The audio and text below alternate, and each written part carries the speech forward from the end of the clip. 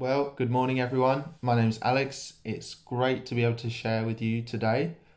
And I'm going to talk about one hope. So, we had Andy do one baptism, and I think we have some more kind of on this theme of one.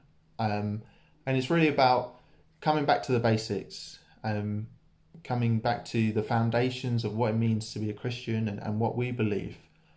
And I'm going to try and keep it simple. Um, I'm going to read a passage. I'm going to talk a bit about what stood out to me in that passage, and then I'm going to kind of apply that to me, um, and and really appreciate. Okay, why why does this give me hope? Um, and then we're going to have a testimony, which I'm very excited to hear as well afterwards. So hopefully that's clear, and uh, we're going to jump straight in. So in First Corinthians 15, from verse 1. Now, brothers and sisters, I want to remind you of the gospel I preached to you, which you received and on, on which you have taken your stand. By this gospel you are saved, if you hold firmly to the word I preached to you. Otherwise, you have believed in vain. For what I received, I passed on to you as of first importance that Christ died for our sins according to the Scriptures that he was buried, that he was raised on the third day according to the Scriptures, and that he appeared to Cephas and then to the twelve. After that, he appeared to more than 500 of the brothers and sisters at the same time, most of whom are still living, though some have fallen asleep. Then he appeared to James, then to all the apostles, and last of all, he appeared to me also as to one abnormally born.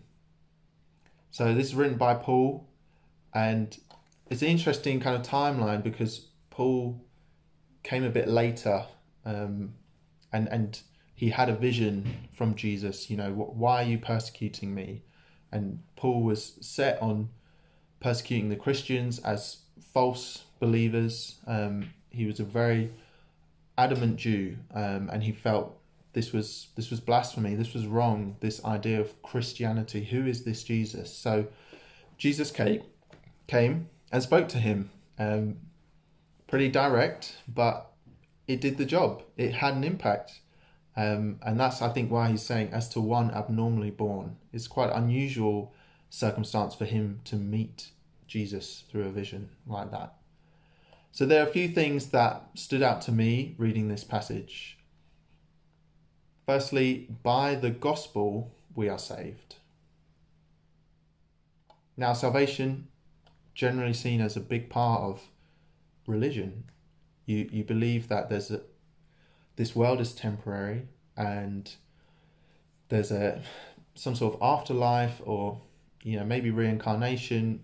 It depends, but you have a belief that there's something more, and you're looking for this salvation, and you you put your your hope in that thing for your salvation. That's a typical principle of religion. Not all are like that, but many are. And so it's very important when we read, by the gospel we are saved. It also says, hold firm, right? It's that idea of it's not going to be easy. There's a challenge. Um, the the reality is it's temporary, but it's not easy. And then very interesting, he says, otherwise in vain. I think that's hard to grasp. Okay, otherwise you've believed in vain. Um, but I think it's this idea of the gospel is so pivotal, right? Either it gives the whole purpose as to why we're Christians, you know, that Jesus died for our sins, that he gave his life for us, and he was the demonstration of, of God and his love. Either we have our hope in that. If that's not true, then then what is it? It's meaningless. And this is what we kind of we want to focus on is that's the the crux of what we believe. Christ died for our sins and was raised again. And this hopefully gives us hope for the future. So even this passage I've read, it was an early Christian creed, and we we kind of make similar references when we get baptized about, you know, Jesus is Lord. We're, we're making a confession of faith and trusting in, in Jesus and not in our own lives or, or the world around us. And, and so the main point uh, that stood out to me from this passage is the hope Jesus gives allows us to hold firm. So we've seen a lot in the past few years. I think that's fair. Um, I'm 24, and if I may say that even the past two decades have been very eventful. We've seen a lot. We've had the tech boom, you know, smartphones, technology. Some of you we're we're watching from home. Um, financial crashes, that the chaos of, of that, Brexit, COVID, climate change, Ukraine war. Right, there's there's a lot that's gone on in the world. Things which we would probably say, wow, these are consequential. These make a difference to my day to day life. This is not passing passing news. Um, these are very real. And I think with all those changes, it is hard to find stability. It's hard to have confidence in things when, you know, they, they change so quickly. And I've definitely found times where it's been hard for me to have hope for the future and, and seeing seeing what goes on, um, the uncertainty. So the question is, well, how, how do we put hope in Christ? And I appreciate this passage, just how direct Paul is. By this gospel you are saved, otherwise, you've believed in vain. It really is that foundation I mentioned that Jesus was the the crucial element that we needed to find salvation with God. So looking back for myself, the the past few years have been pretty challenging, um, and I think you know it's tempting to think I, I, you know my life's not been that difficult compared to other people and to compare, but I can only speak for myself. I found the last few years challenging in many ways, and with my faith, I'll be to be honest, that's wavered a lot. I think looking back, I, I realize I have some painful memories associated with faith and church. And when you grow up with church, it has a big influence on, on who you are. And, and, and that's great in many ways, like that's a blessing. But when you realize it has flaws, then it's painful and it becomes like part of your identity is under attack. That by questioning church and, and maybe issues that you see, you look to yourself and you think, oh, I'm a product of this. I, I'm the output of this. And that's a bit scary. That's kind of hard to reflect on and, and say, how has that affected me and my life? It's hard to feel that something you trusted and relied upon as a kind of foundation is suddenly overthrown, crumbles. Because then suddenly, what do you believe? If those things that you saw as a foundation for your life are rocked, what's left? like that, that's that's hard to grasp. Um, and I think many people have wrestled with these things, I've seen a number of practices which I feel are wrong, such as being legalistic, judgmental, showing favoritism, being focused on performance and, and numbers instead of a sincere relationship with people. And these things can be subtle, but to me are inconsistent with how we see Jesus live. And when when I look at myself, I have to admit I've been guilty of those things. There there there've been habits that I've had which reinforce that that judgmental or performance based kind of mindset. And it's shocking. It's shocking to see that in myself. And I think, how could I justify these things? And I have to often take a step back, kind of zoom out and say, how, how did I get to this point? How did I come to accept that it's okay to be judgmental of other people's views and beliefs? And I, I realize I've lost sight of, of the hope, of the purpose behind it. When I come back to that of by the gospel, the good news of Jesus, we are saved. Great, right? It's not, it doesn't have to be very complicated. And it's not by how successful we are, that kind of performance mindset. It's not the number of people we convert either. We can't earn it. God offers it freely. And we should be honestly just grateful for that. There's no way that we can make up for that. Now, I think there will be times in all of our lives where we get distracted, discouraged, and even hopeless.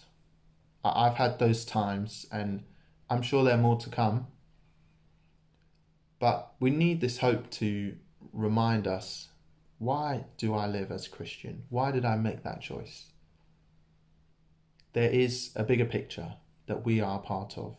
That, yes, we think of ourselves as an individual, but we really are part of a body, whether that's our family, our family group, our church, our country, our, the world, society, humanity. There are many things that we contribute towards, that we're a part of. And we do have a purpose to want to, to, to give, to help, to contribute to that. And I think God really has a plan for those things, that He wants to see all those things flourish and grow and people helping one another all the time.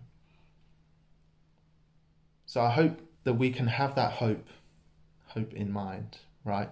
That we can remember, despite whatever's going on in my life, Jesus doesn't change, that He is consistent, that He is reliable, that he is the, the foundation that I, I lean on. And I'm excited we're going to have someone share who's been through a lot. And I'm sure, um, you know, they'll tell you all about it. But I'm very grateful for this brother. He's he always has a, a kind word to say, an encouragement, but also wisdom. You know that he's experienced things where he he's been through tough times and come out to say, this is what I learned. And I'm grateful for that and excited that he gets to share that with you today. So hope you enjoy and, and thanks for, for hearing my thoughts. Good morning, church. I'm honored to be sharing the, my testimony with you today. My name is Larry Samuels. Uh, uh, for those of you who do not know me, I'm 68 years old. I'm a husband, a father, and a father of seven, and grandfather of 16 grandchildren. I came to Christ late in, the, in my life, uh, having lived a life of sin since my youth. I studied the Bible in Manchester and uh, I was baptized on 10th of September 2000. My journey as a Christian was not without challenges and I want to share one of those challenges with you today. In 2012, my kidneys failed. After feeling unwell, I went to the local hospital where I lived and the doctor gave me the news. So I shared that news with my wife and the doctor said that I would be on dialysis. At least they will try to see if I can get dialysis because there was nothing they could do for me as I was in a, in a dangerous situation and needed a miracle. Those were his words. After sharing the news with my friends and family and many years on dialysis, a friend called John offered me a kidney. He had tests done to check for compatibility and all the tests went great and on the 28th of January 2018 was a transplant date given to us by the hospital. But in December, just after Christmas, John called me and told uh, uh, December 2017. This is just to be clar- clarifying. Uh, he told me that uh, he had developed some health issues and he was no longer uh, considered uh, to be able to give me his kidney because it would affect his health. So he could not be a suitable donor. We shed many tears as we felt uh, the blessing of God had been taken away from us. And we, uh, well, I, for one, had thought that if it is God's will, then so be it. But I struggled because I thought I was going, was, I was going to be a burden to my wife, and I did not want to uh, be a burden. So I dig, dug deep. I continued to pray, and God, even when it did not make make much sense. So I didn't give up, and we prayed together, my wife and I continually, and the church and many others across the world. Then in January 4th, 2019, um, we got a phone call at 6 a.m. in the morning from the Royal London Hospital offering me a kidney. We were excited and there was lots of tears, lots of tests and the surgery went well once we had been given the all clear. But however, we were there were complications and uh, I had to endure an operation every week for the next four weeks as I was in hospital for that length of time. It was, I was in tremendous pain. Uh, I became fearful, and at one point I prayed that God would take my life. And while I was praying, I heard a voice that said, Why are you praying for God to take your life when God wants to use you broken? I could not see no one in the room, and I questioned if I had been dreaming. I realized at this point that God was with me. He had been, he had heard my cry. I started to hope again, and I knew that God would pull me through. My pain was only temporary, but it brought me closer to God. I had to go through the pain in order to be healed. God brought brothers and sisters to encourage and pray with me while I was in hospital. And for those many weeks, God was able to use me broken during my stay in hospital. I was able to pray with staff for them and their friends and families, and I and to pray and encourage other patients who were in pain to pray and call on the name of Jesus. God brought me through this tough situation, and He continues to work with and through me. I know He will do the same for you too. Never give up. Keep trusting and holding on to God. He is our only hope. Thank you for listening.